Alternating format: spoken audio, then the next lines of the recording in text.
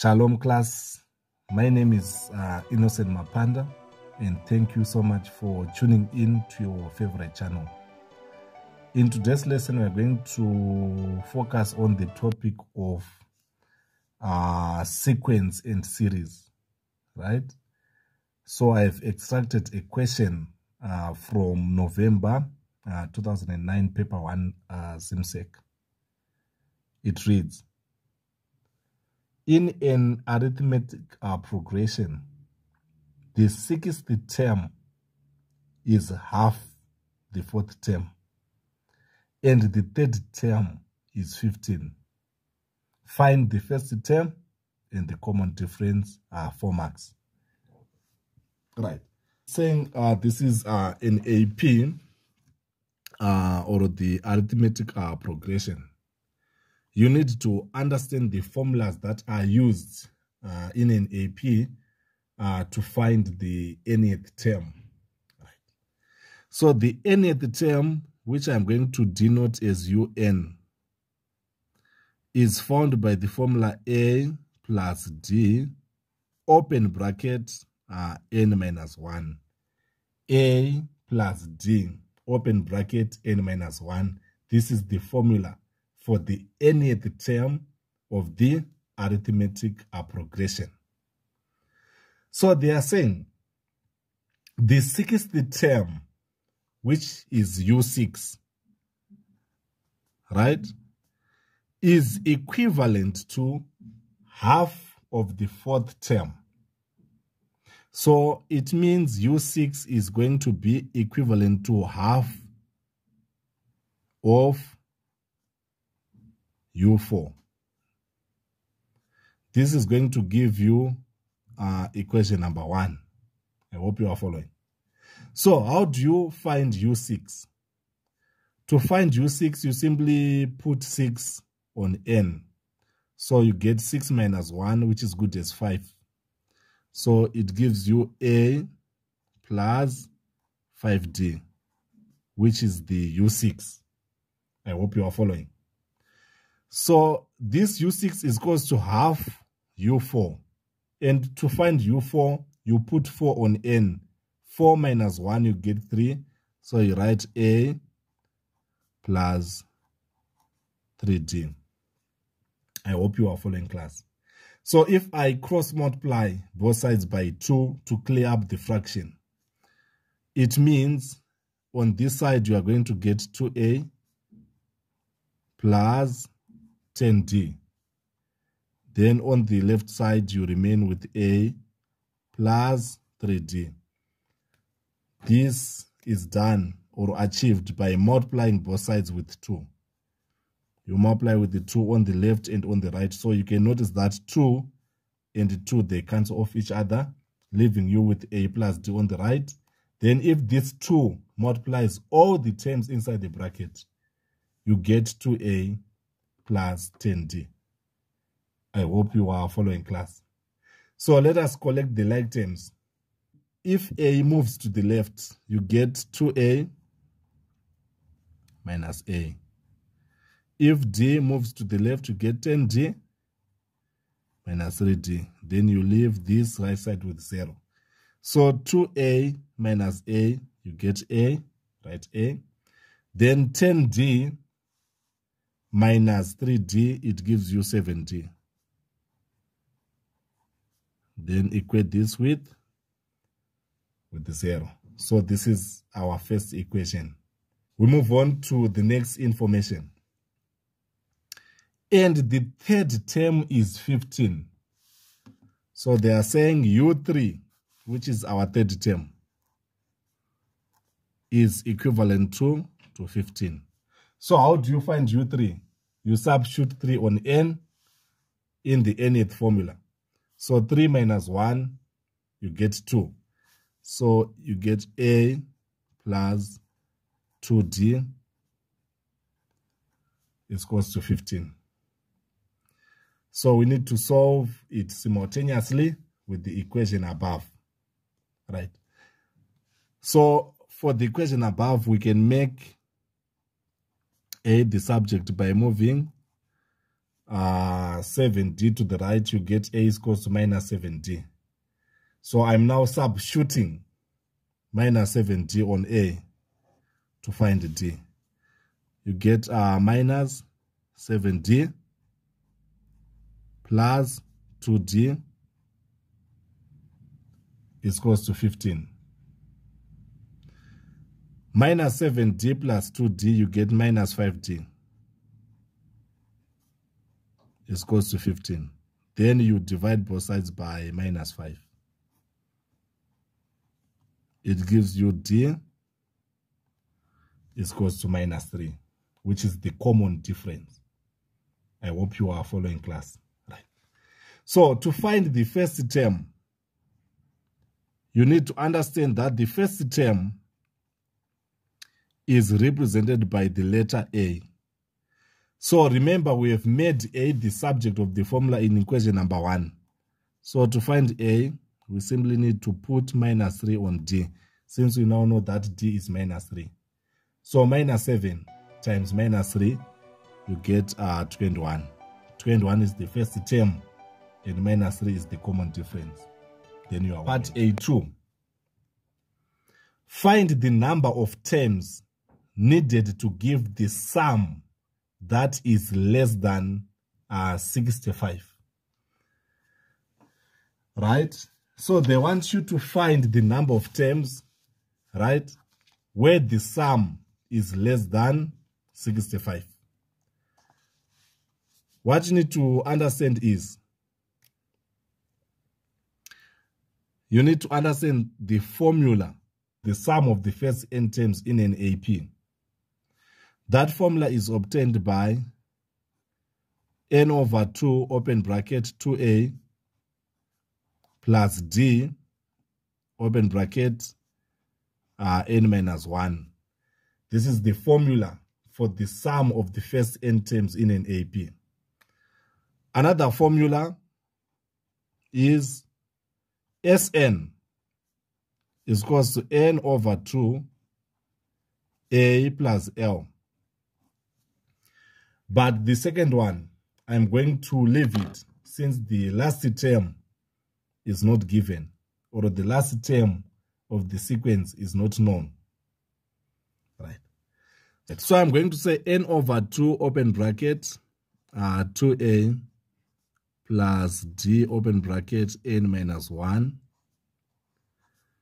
We need the number of terms which makes the sum to be less than 65. This is the requirement of the question. Needed to give the sum that is less than uh, 65. So now that for the first term and the common difference, we substitute uh, A, A with the 21.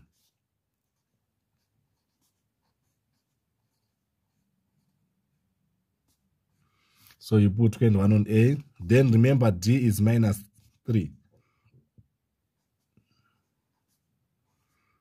Then you say N minus 1 is less than uh, 65, uh, something like this. So I'm going to start by multiplying both sides with 2, which is not going to affect my inequality sign because 2 is positive. So no inequality sign is going to be reversed. So you get n open bracket 2 times 21 it gives you 42 then minus 3 times n you get minus 3n minus and minus you get plus. 3 times 1 you get 3 it's less than ah, one third ah, something like this. Then expand uh, this bracket. 42n minus 3n squared plus 3n is less than uh, one third. I hope you are following class. Right. Then we move uh, everything to the right side. So you get 0, 3n squared, then 42, n plus 3n it gives you 45n, but it becomes minus 45n plus 1 third, uh, something like this. So I have moved the terms on the left to the right side. Minus 3 squared becomes positive. Then 42n plus 3n is 45. But if you move it to the right, it becomes uh, negative 45. I hope you are following class.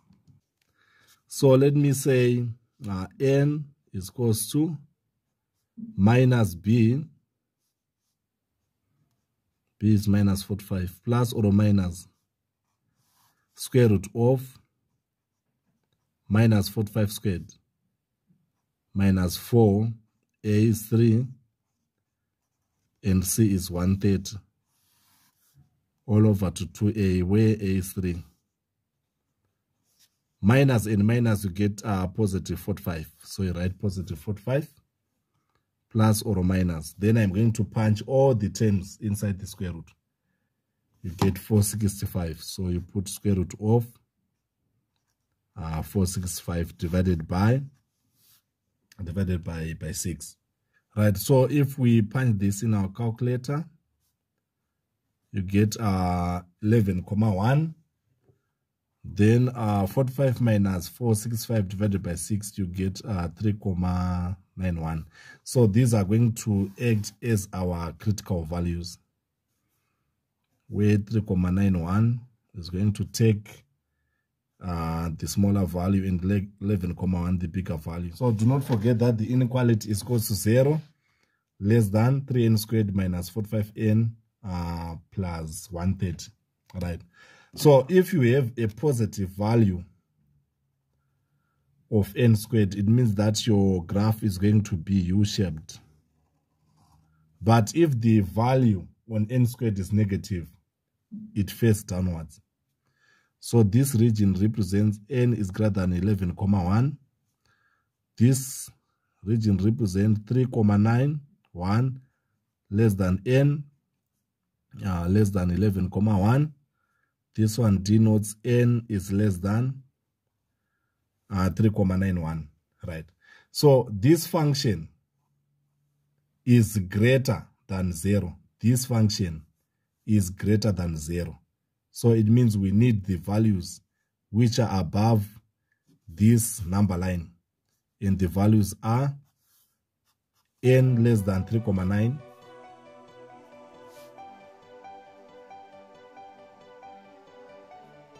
union n rather than e 11,1 right we move on to part b of the question. It reads evaluate uh, we are given summation from rs course 1 up to the 10th term.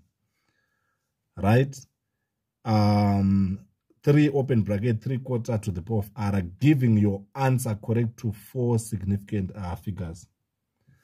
So let us find the first three terms um, of the sequence since we have one we need to put one on r to find the first term. So this is your first term here. Then the second term you put two on r.